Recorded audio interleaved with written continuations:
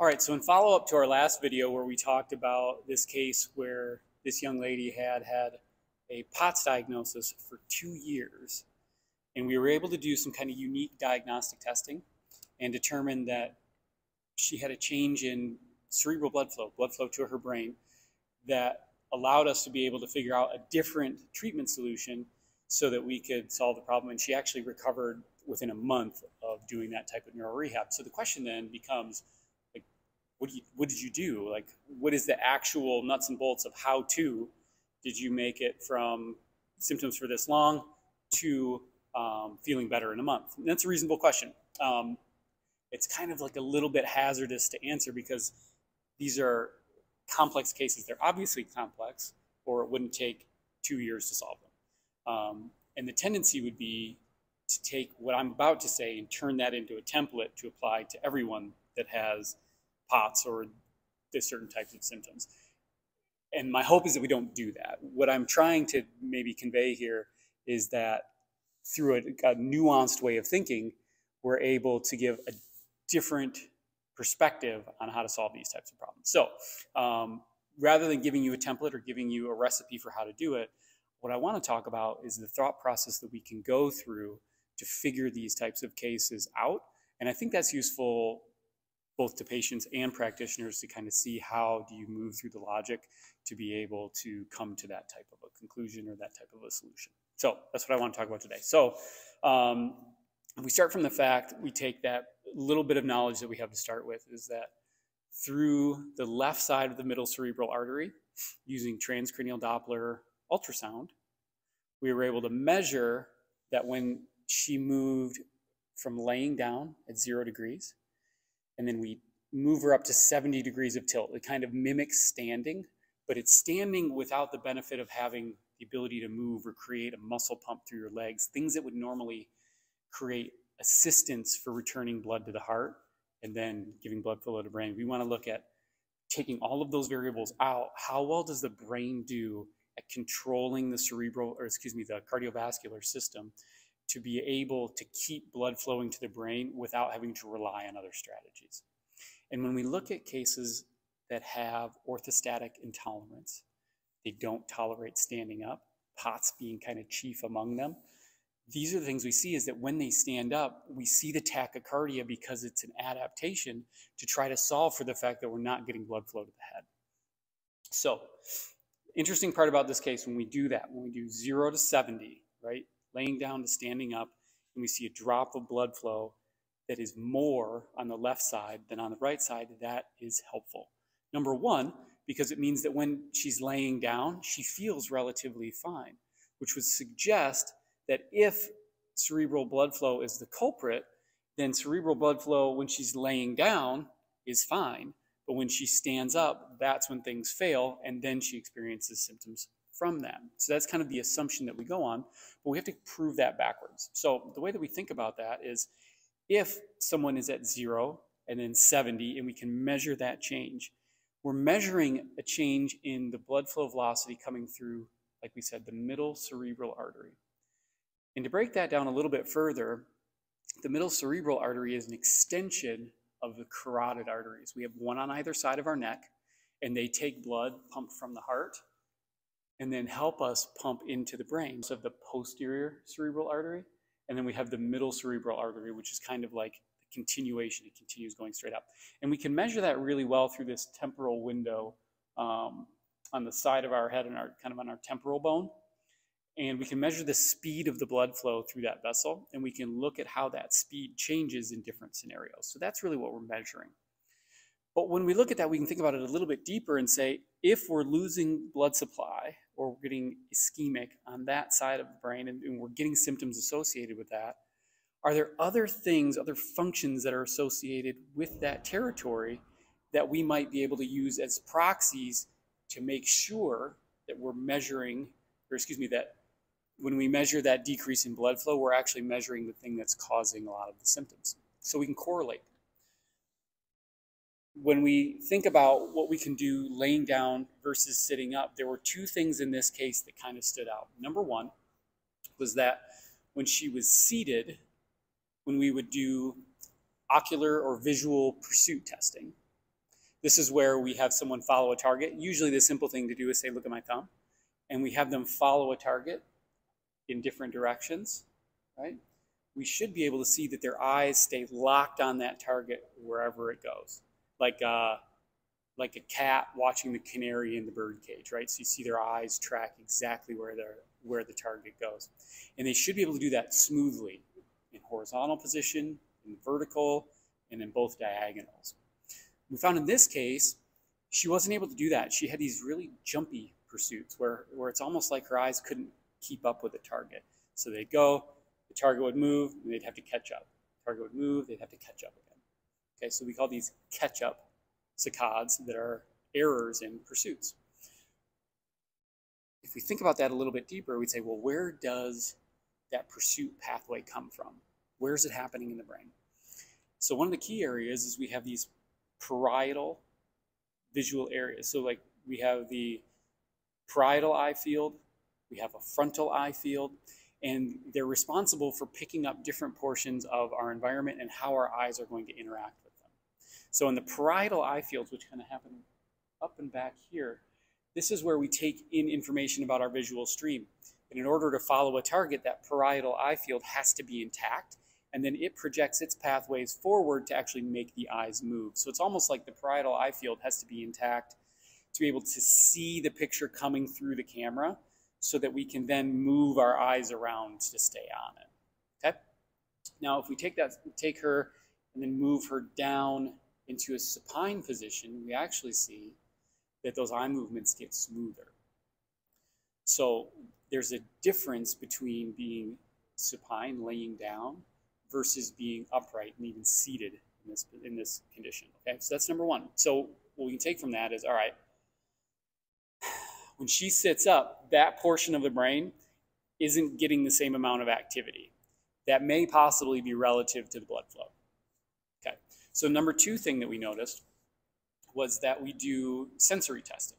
So we may take um, pinwheel, which is these little sharp um, uh, like needle-like projections on it, and we can rub that on your skin, and it feels it feels sharp. It feels uh, prickly, and then we can all that type that tests one type of small sensory fiber, and then we can look at vibration. We can look at light touch, and we can see if the sensory nerve from the body is able to project and land where it's supposed to in the brain, right? So for her, when we lay her down and we measure all of the different modalities on the sensory system, in her face, in her arms, in her trunk, in her legs, everything's symmetrical. It's the same on both sides. Then when she sits up, and especially when she stands up, we start to notice that she gets less sensation on the right side of her body. So we see these little patches where she doesn't feel it. The pinwheel doesn't, it feels smooth. The vibration doesn't feel as intense as it does on the other side. And we know that the right side of the body, its nerves travel up, cross over into the left side of the brain, into the somatosensory cortex, which is also kind of up here in this parietal area, the primary parietal strip. Okay? Primary sensory strip. So, from that information, we can start to look at it and say, we're seeing these changes not just in the blood flow itself, but also in the function of these systems. So when she lays down, they operate okay, but when she stands up, they don't operate as well, they don't function as well. So they become these neurological proxies or these functional proxies to what we're seeing with blood flow. And this is really useful.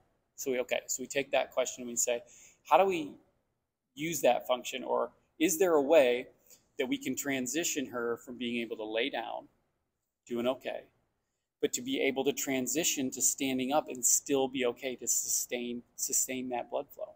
That's the question. So there are a couple things that we think about that. Number one comes back to the idea of the pursuit. So if we look at going a little bit deeper, and I think it's valuable, so stay with me. But there's a really great book, um, The Neurology of Eye Movements. It was published by Leigh and Zee, several editions now. Easy reading. Um, but in that book, what we learn about is there's a little bit more nuance to how these pursuits work and the way they operate and what makes them accurate. And it's this idea of retinal slip. So what that means is if you can imagine looking through binoculars, like you're watching, maybe you're watching a bird, maybe you're watching, you're looking at a deer, maybe you're watching a football game or a soccer match, whatever. Pick the thing that you like to watch. But if you're looking through the binoculars, we've got like these two tubes. And if you're following something that's moving through that tube, our eye can sense when we're getting toward the edge of that binocular, and we have to adjust the binocular to be able to stay on the target. If whatever we're looking at, if that deer is able to run faster than we can keep up with, we have to jerk and try to find that target again. And this mimics what we see with those catch up pursuits, where the fovea or the ability to detect the slip on the retina is going to help us determine how accurate the eye is going to be in tracking the target.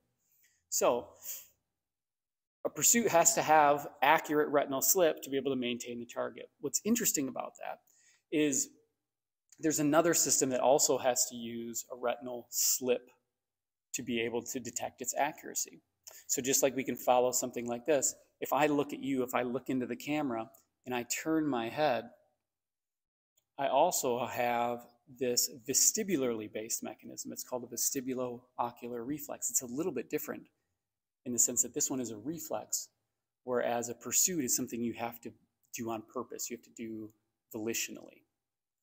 But this reflex is kind of like the foundation of what later becomes a pursuit.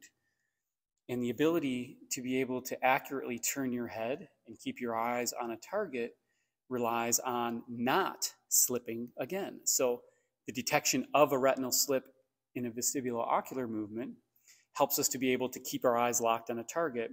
Similarly, we have this transition when we look at a pursuit where that retinal slip helps us keep on a target in the visual field that's moving. And as your brain develops, you have the ability to do both. You can move your head and body and walk in space and also be able to track something that's moving. So this retinal slip idea is really central to our ability to navigate around in the world, to be able to have a moving body that can tolerate a moving world. Okay. So from a rehab perspective, what we want to think about is can we train that visual pursuit or that retinal slip mechanism so that we can translate it back to a standing posture.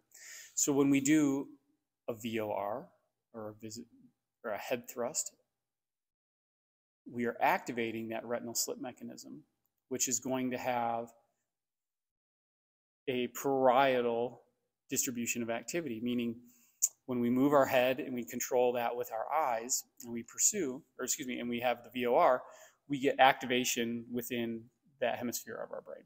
So specifically, if we do movements that are to the right, they are going to be more directed toward pursuits that happen on the right side, or excuse me, on the left side. Um, so if we're thinking about increasing blood flow to the left side, what kinds of things would cause increases of blood flow into the brain?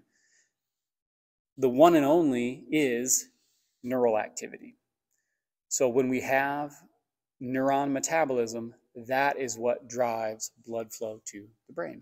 So if we increase the neural metabolism from cells in that territory of the brain, we have to increase blood flow velocity in order to meet that metabolic need. And it's a really big concept. So if we pair those things together and say, can I do exercises that activate that retinal slip mechanism? So I get that parietal firing through both the vestibular system, through my eyes moving, through my neck moving. These things all fire into this parietal area, then I'm going to increase blood flow into that area. Okay, so that's the thought behind that activity. So we say, okay, if we know that, that may be a mechanism that we can use to help reestablish the pursuit, to use the VOR to reestablish the retinal slip and transfer that into a more accurate pursuit. And from what we know from studies through Leigh and Zee, um, that is the case. That's how we can do that. We can actually use VOR as a mechanism to retrain and pursue. Very cool stuff. And we have the benefit of being able to direct it toward the area of the brain that we're interested in sending more blood flow to. Cool. So in this case, what we're going to do is do we want, so the next question you have to think about is, do you want to sit them up like I'm sitting right now and practice that exercise going to the right? Well, maybe not, because in that position, we already know that there's a decreased blood flow, that we already have a failing adaptation in that seated position. So if I want to exercise those cells, if I want to make them work harder, putting them in a reduced blood flow scenario is probably not going to be their most advantageous position to start from. So I want to think about positioning if I want to work those cells, I want to give them the best probability of getting blood flow so that I can work them and make them healthy again. Remember, these are not healthy cells. These are sick cells. So if they're sick, then we have to be able to treat them um, a little more gently than if they were strong and robust and really active. So in this case, what we'll do is we actually lay her back down on her back where we know that blood flow is more stable, more reliable. And then we do the exercise while she is laying down. That allows us to be able to stimulate that mechanism so that she's able to have that accurate pursuit. Then we want to be able to transfer it. So we make sure it's working, we exercise that system, and then anything you know about exercise is that you have to make it progressively harder to add a bigger challenge to make that neuron grow, to, to allow that neuron to be able to take on more activation, to be able to create more synaptogenesis, to be able to work at a greater context than just being able to lay down and you know watch the birds fly by. Okay, so that's kind of like that's that portion of the strategy. So we have realized like we want to change blood flow. We know we've got this visual pursuit system that fails when she's upright, and we know we've got um, a sensory system that starts to fail when she's upright. One of the things we don't pay attention to thinking about a tilt test is we go from zero to 70 degrees right? So we're measuring to full upright. What is the difference? What's the delta in that position? The thing we don't do is we don't measure at what what is the inflection point where someone starts to fail. Is it at 70 degrees? Maybe they start to fail at 60 degrees, 50 degrees, 40 degrees. Where's the point? So that's the next thing that we want to measure is we measure what is the point of what we call uh, decomposition, meaning where does the adaptability to be able to tolerate orthostasis start to decompose? The way that we do that is we take the same tilt test, but we break it down. And we move someone in five degree increments. So start at 0, 5, 10, 15, 20, 20, you know the drill. And as we move up, we're looking at the same markers and we're looking at that blood flow to see what is the point at which we see a spike where the blood flow drops significantly at a certain moment. So when we do that, we come up through and we can see what is the inflection point where the blood flow actually starts to drop down. Is it at five degrees? Is it right away? Or is it at 45 degrees? Is it 50 degrees? Whatever the thing is. So we do that not only to get a baseline, but we do that individually throughout each session that we treat someone with because it may change and fluctuate based on their tolerance level at that given moment. So it can change based on uh, how much they've slept, it can change based on how hard we've worked, it can change based on if they've just eaten or not. So there are a lot of different variables. So each session we will find that point 30 degrees, that's where it fails this time. And then we will take them just below that to where they can recover right? So the it starts to fail at 30 if we bring them down to 25 and we see that system's able to tolerate 25 perfect. So now we've created this this tension where we can do the exercise we can challenge the system and we can challenge the orthostasis at the same time. We can challenge the tilt level. And by doing that we're forcing that system have to recognize that blood flow at a little bit tighter constraint and we're forcing it to be able to pair those or to couple those two things together. So i can tolerate i have to be able to control my my vascular system better. I have to be able to control my cardiac system better and also at the same time dual task these things that i'm doing within my brain. And what we can see is that if if we're at that tilt level at that 25 degrees and they're able to do the exercise, but then it starts to fail and break down, we can we know we have to take a break because we're not able to feed that area the same way. And we can use that to really hone in on measuring right on that edge of where we need to work. And we'll do that over time. From session to session, as we're going, we measure that. We're looking to see if we can increase the tilt angle while still maintaining the quality of the exercise that we're doing. And if we can maintain that quality, we're, we're rebuilding the foundations of the system so that we're not creating all these poor adaptations along the way. We're saying this is fundamental to the activity. We have to be able to do these tasks, and we have to be able to do them not just laying down, but also sitting up. So in this case, we do we we actually measure them, measure the pursuit along with the sensory system. So we have kind of two markers that we know are going to track together. So we will look and make sure that blood flow looks good, pursuit looks good, sensory at stimulation looks good, right? Sensory perception looks good. And as long as those look good, we will keep running that exercise and then trying to progress them up through the levels. What we also added in in this case, not like you need more nuance, and maybe it's getting boring by now, but this is what people wanted to know. So then we would think about, are there other things that we can do to add to this system? So can we further add another layer of challenge? So you might think about this, um, like if you were, if you were learning to play a musical instrument. Like at first, you're just learning, like if you're, you're playing the recorder. My son is in third grade. He's learning how to play a recorder. Super fun time at our house right now. Anyway, so if you're learning how to play the recorder, first thing is to figure out like, how do you blow in it? And then where do you put your fingers? And then can you also do both of those things and then move your fingers around to make the sounds that you want to make? So you add these layers of complexity. So in this case we know one of the soft spots in the system is that we lose that sensory distribution on that side. Um, so what we chose to do in this particular case was also use peripheral nerve stimulation so using an electrical nerve stimulator we would look at which areas became patchy and stimulate the peripheral nerve associated with that area. And in doing so, we're increasing the sensory barrage to that portion of the parietal lobe. Right, so if I stimulate my median nerve, for example, right, the median nerve kind of comes up through here and, and innervates this portion of the hand.